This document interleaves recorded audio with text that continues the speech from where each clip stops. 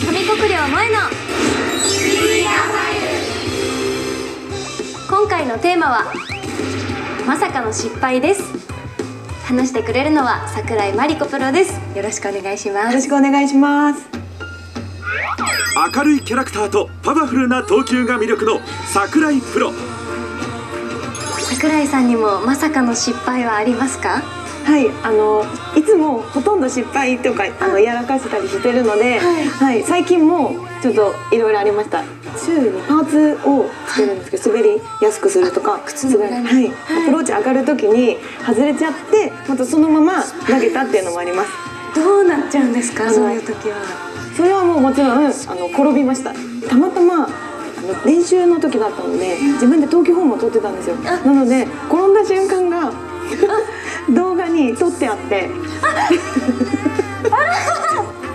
すごい。謝ってるんですけどすごい。でも復活も早いんですいやもう恥ずかしいんで、もう転んだらもうすぐ結構な結構なダメージの大きさというか。はい。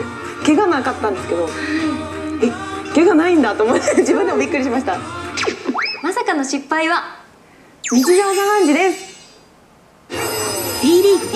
ボリューム18夢のドラフト会議2023今年は歴代優勝者16人と次世代新人4人が出場。